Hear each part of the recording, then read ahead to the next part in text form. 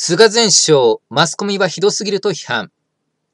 16日に放送された NHK スペシャル証言ドキュメント、永田町権力の攻防、コロナ禍の首相交代劇の中で、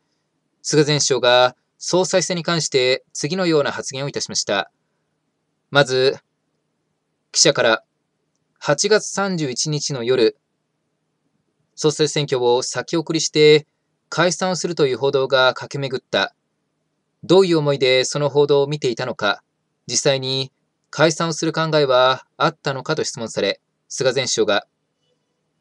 そういう流れを作ろうとした人がいたんじゃないですかね。私は全く話をしていません。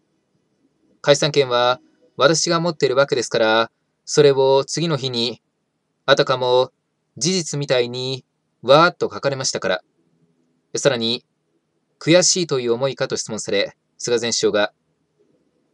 悔しいというよりは、ひどすぎると思います。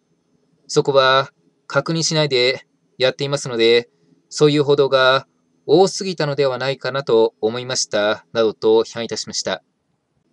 まあ、このようなマスコミの報道、まあ、特に政局に関しては、まあ、本当にですね、いい加減な報道が繰り返される場合があり、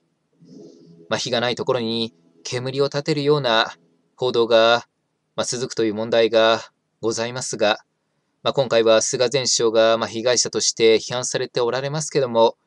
まあ、こういったマスコミの被害に遭った方、他にも多くいらっしゃるものと思われますので、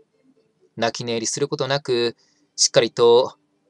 批判などを行っていただき、マスコミの、